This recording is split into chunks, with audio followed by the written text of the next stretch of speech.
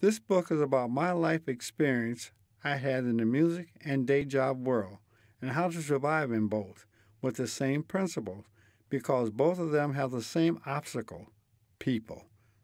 And the person you have to learn to deal with the most is yourself. Enjoy the book.